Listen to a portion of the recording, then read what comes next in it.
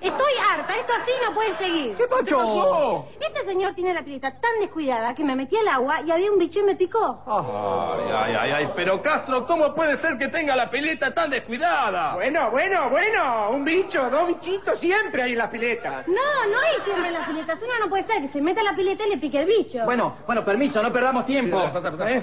Permiso. Señorita, ¿dónde le picó el bicho? Acá. Ay, si se le ve la roncha. Permítame, señorita, ¿eh? Sí.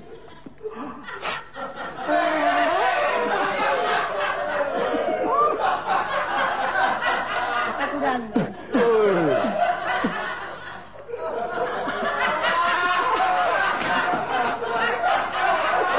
¿Qué van a rajar?